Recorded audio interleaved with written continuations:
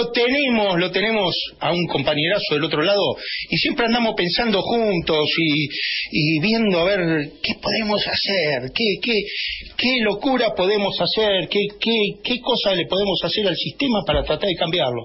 Aunque sea tirándole piedra, aunque sea tirándole algo, pero tratando de cambiar el sistema.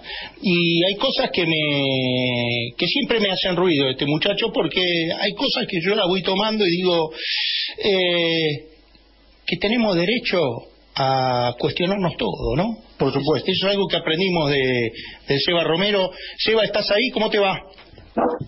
Hola, ¿qué tal, Fede Gonza? ¿Cómo andan? Hola, Seba. ¿Cómo va eso?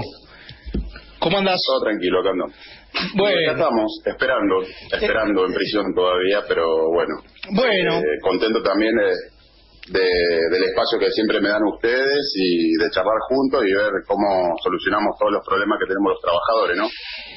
Sí, sí, sí, sí, sí, hay que, hay que replantearse todo, Seba. Como vos decís, este, eh, ¿por qué, por qué si me están precarizando no me puedo, no me puedo rebelar contra eso? ¿Por qué me tiene que hacer laburar eh, 8, 10, 12 horas y todo por el mismo sueldo? ¿Por qué tiene que despedir gente y tirarla a la calle como si fuera basura?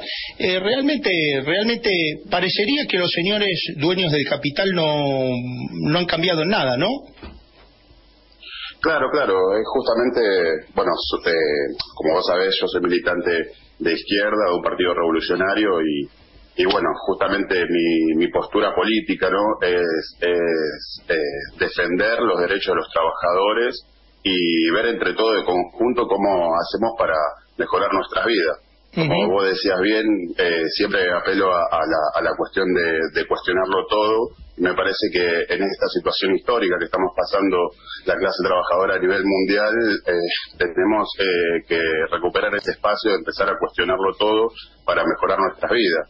Como vos decís, parece que acá en esta situación mundial de COVID y con toda la crisis económica mundial, los diferentes eh, gobiernos del mundo apoyan y defienden siempre el capital por encima de la vida de las personas y bueno, hoy por hoy acá en Argentina tenemos una particularidad que si bien cambiamos eh, el gobierno, ¿no? que fue un triunfo que logramos eh, entre todos, eh, todavía seguimos padeciendo los males de, estas políticas que defienden más que nada los intereses del capital y, y siempre se termina cortando la cadena por el eslabón más, más delgado, ¿no? Y aplicando todo el ajuste a los trabajadores y, a, los pobres, ¿no? En esta situación de pandemia estamos viendo que hay un, recorte eh, bastante interesante en, en, los trabajadores que están hoy activos, pero también la cuestión de, del hambre no, no se resolvió, como así también las cuestiones de, la vivienda, ¿no? Con esto lo que pasó en Guernica y todas la, la, las fuerzas represivas, cómo desalojaron otros tipos de estomas también, que hoy en día es una necesidad básica tener un, lugar para vivir, eh, es una necesidad muy básica el hecho de poder comer y alimentarse, pero también es una necesidad básica de tener un, empleo para poder sustentarse. Y esto que vos planteabas de, tener que laburar 8, 12, 16 horas hoy en día eh, hace que la vida de la, de la gente sea bastante difícil con toda la, cuestión económica que, estamos atravesando y, y que el dinero no alcanza y nosotros tenemos un país, la verdad que bastante rico en la tierra y en el mar para poder sustentar el hambre de, de, la gente y bueno, eso, eso no se está resolviendo y eso es algo que se tiene que hacer en lo inmediato y, y tranquilamente se puede hacer con unas políticas eh, desde parte del gobierno, ¿no? Y también exigiéndole a las direcciones eh, de hoy por hoy del movimiento obrero que que es ultra, ultra necesario eh, plantear un, plan de lucha y orientar a todo lo, el conjunto de la clase obrera para ver cómo, cómo resolvemos esta situación eh, en lo inmediato, porque la gente se está muriendo de hambre, la gente está en la calle, la gente está sin empleo y, me parece que, que todas las políticas del gobierno y las intenciones eh, que tuvo en un principio y cuando asumió, eh, después eh, se tiró para atrás con el tema de, los impuestos a, los que más tienen, con, el tema de las retenciones y, bueno, eso en lo concreto, en la práctica, hace que, nuestras vidas no, no cambiaran y el modelo, digamos, eh, se sigue profundizando, ¿no? De la crisis en la espalda de los trabajadores. Y es bastante triste, es triste porque ya sufrimos todo, ¿no? Ya venimos sufriendo hace bastante eh, el desempleo, venimos sufriendo la, la crisis económica, venimos sufriendo el hambre, venimos sufriendo el tema de, no tener un, hogar y la gente que se quedó sin empleo eh, no puede pagar el alquiler y así todo parece que eh, siguen profundizando eh, las cuestiones económicas y, empobreciendo cada vez más nuestras vidas. Y en ese sentido es muy difícil porque la mayoría de los muertos que hubo con esta situación de COVID también fue parte de la, clase más vulnerable y, que es la clase trabajadora y, y, estamos en un duelo constante, en una, situación eh, muy difícil, muy triste y, creo que el gobierno tiene que apelar a, a, poner un freno a eso urgente y que las direcciones eh, sindicales y políticas del movimiento obrero también tienen que, que dejar de lado un poco eh, la cuestión partidaria y ver de conjunto cómo podemos hacer algo para resolverlo en lo inmediato ahora. Ahí, ahí quiero, ahí quiero, quiero eh, poner una, poner una coma y preguntarte un poco un poco el concepto viste eh, no sé si te habrá llegado un documento que yo que yo eh, estuve difundiendo que es eh, la construcción de, de, poder comunal de comunas este el poder de los comunes. No sé si te habrá llegado el documento pero la idea era cómo es el tema de la democracia operativa ¿Cómo, cómo concebís vos la, la, el, sistema, el sistema de democracia operativa con el objeto de quebrar la hegemonía de las conducciones traidoras a los movimientos, a los trabajadores y, y hacer una real representación de los trabajadores, ¿no? Sí, sí, eh, me llegó y lo, estuve leyendo muy muy rápido por encima. Eh, la verdad que es una, una muy buena discusión la, que plantea el documento y me parece que, tenemos que nosotros los trabajadores empezar a, discutir esta cuestión de, la reorganización que necesitamos hoy por hoy eh, la clase trabajadora que, que digamos todos los derechos adquiridos y conquistados como yo siempre digo fueron a través de, de la de la autoorganización de la gente, de la lucha y también de la autodefensa.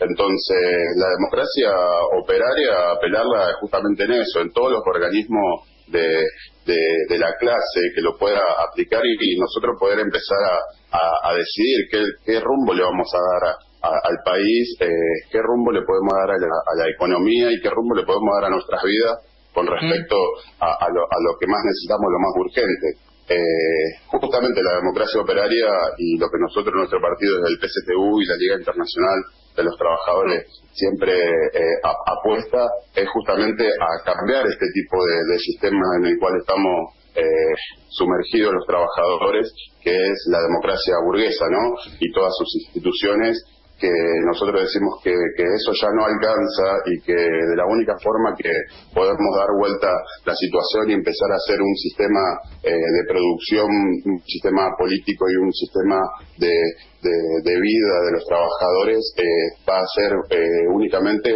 con, un proceso donde nos organicemos en los lugares de trabajo a través de comités de fábrica, en los lugares, en los barrios, a través de comités barriales, en los lugares de estudio a través del comité de, los estudiantes, la juventud. es muy importante el espacio de todas las minorías, de, todas las, mujeres principalmente que, están sufriendo hoy por hoy violencia y también de, todas las minorías LGBTI, ¿no?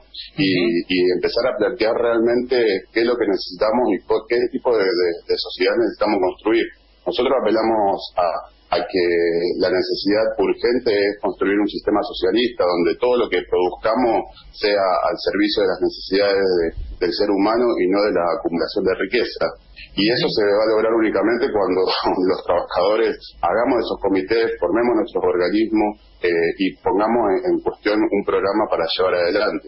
Y bueno, es justamente lo que plantea un poco eh, el documento que vos me, mandaste, lo leí muy por arriba no hice un análisis muy profundo, pero, pero en ese sentido, de cómo nosotros tenemos la herramienta de, de, reorganizarnos y que es posible, es posible. Obviamente eh, eso va a ser eh, una tarea eh, del conjunto de la sociedad y tiene que ver con una cuestión de, empezar a romper barreras, barreras que, que tenemos eh, hoy por hoy por la conciencia atravesada que tenemos la mayoría de los trabajadores, que es, eh, estamos dominados no por, por una clase que es la conciencia burguesa y que nos dice que, justamente vamos a, ser libres y que somos libres, eh, lo cual no es así porque no tenemos libertad de expresión, no tenemos libertad de, organización y también tenemos muchas trabas para que los trabajadores lleguemos al, a, a, los organismos que hoy por hoy están planteados porque hay una cosa muy,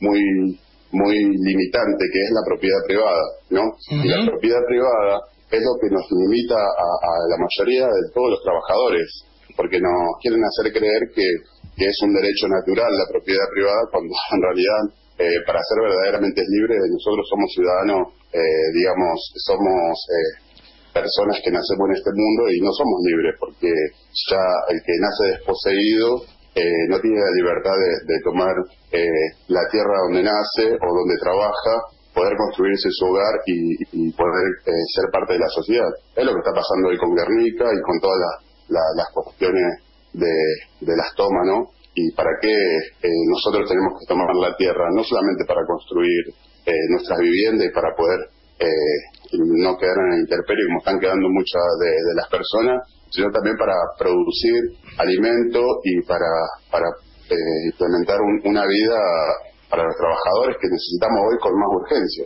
Sí, este, eh, eh, es como un común denominador, es como un común denominador en esta sociedad la falta de representatividad. Viste el artículo 22 de la Constitución, dice el pueblo no delibera ni gobierna sino por medio de sus autoridades. ¿Y quiénes son sus autoridades? Claro, el tema es que la, el tema es que las autoridades eh, que, hoy por hoy tenemos y el sistema, eh, digamos, eh, burgués, no capitalista, nos mete en un laberinto porque nosotros hoy por hoy todo lo que diga la Constitución, todo lo que diga las leyes, en la práctica es otra y bueno, está demostrado justamente con, esta cuestión de, mi prisión y la prisión de todos los, presos por luchar, ¿no?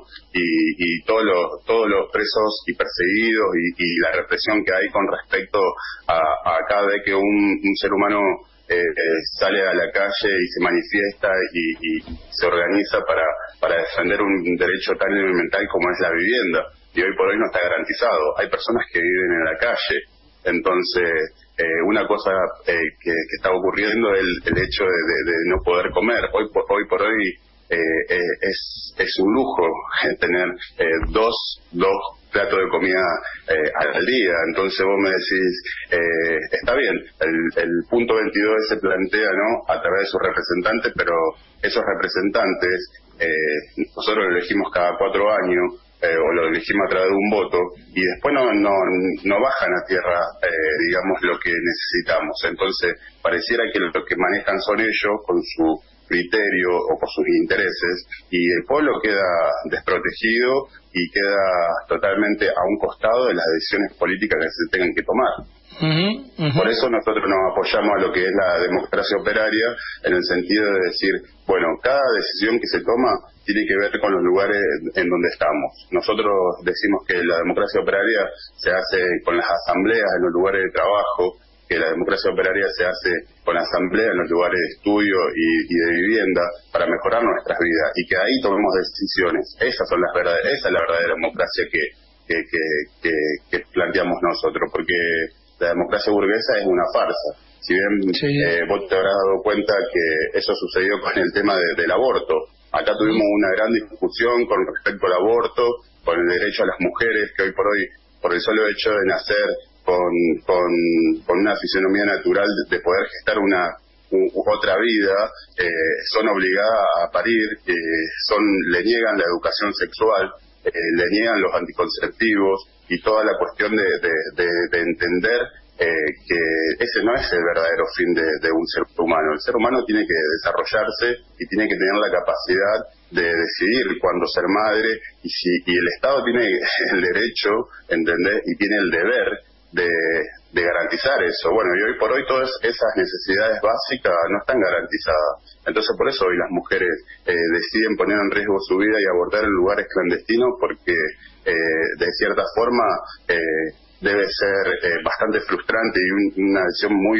dolorosa tener que traer otro ser humano al mundo a vivir en condiciones, la verdad que eh, pésimas y, la verdad que hoy por hoy se nota. Cuando yo hablo del hambre eh, no es que lo romantizo ni también hablo de una cuestión de decir de, solo una, una cuestión eh, digamos que queda en el aire. Es una cuestión concreta y real. El hambre duele y lo digo como, como persona que, que sufrió hambre en, mi, en mi niñez y, y la cuestión de, de dejar una persona sin empleo también es, es, un, es algo eh, digamos, inhumano, porque un ser humano que queda sin empleo, que no puede darle de comer a sus hijos, que no puede sustentarle la comida o, la vivienda o, la vestimenta, la verdad que desmoraliza de tal manera que, que los pone en una situación de vulnerabilidad terrible y frente a eso después nos acusan cuando uno sale a manifestarse y frente a una represión tiene que defenderse. Entonces, en ese sentido, yo digo, nosotros tenemos derecho a la autodefensa, tenemos derecho, porque si el Estado eh, plantea todo, planta todo un aparato represivo para, para, para poder llevar adelante sus políticas, los trabajadores tenemos el derecho de, de la autodefensa para poder hacer esa pulseada y ganar, eh, digamos, en las calles eh, el derecho que tenemos de nosotros de vivir dignamente como seres humanos. Eh, porque, viste, vos estás en, la detención domiciliaria, pero nosotros nos toca salir a la calle y vemos que un tipo tan ruin como la reta está cambiando vereda mientras a 20 metros hay un tipo que está durmiendo en, un, en, una tapera, se hizo una casita así de, de, trapos y de cartones y están viviendo así y mientras este ruin está a 20 metros cambiando cambiando una vereda. Cambiando veredas, arreglando bicisendas, poniendo helechos en, los lugares donde pasan este, en las estaciones de tren, gastando dinero que se podía destinar a darle de comer a los más vulnerables, a los pobres, al que quedó sin laburo, como, como decía Sebas, ¿no?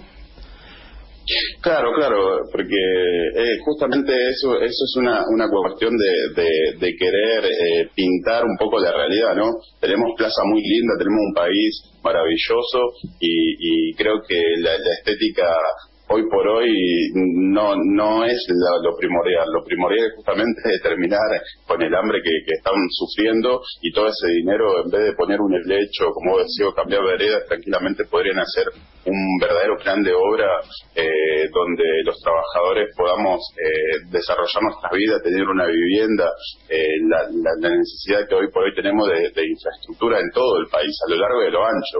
Entonces, vos, vos me decís esta cuestión y es obvio, porque esa es, la, justamente la, la, hipocresía con la cual nos gobiernan, ¿no?